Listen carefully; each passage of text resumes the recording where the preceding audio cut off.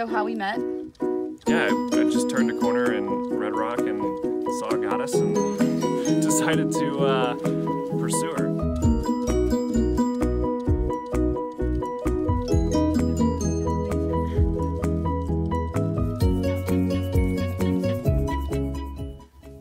Uh, yeah, and I, I think we so we met hiking at Red Rock. We're both from Texas uh, and grew up in Houston, 20 minutes away from each other, and met out here. Um, and so, yeah, I think hiking and doing the things that you love, um, when you're not looking, you'll find the right person. And so we have Red Rock to thank for that.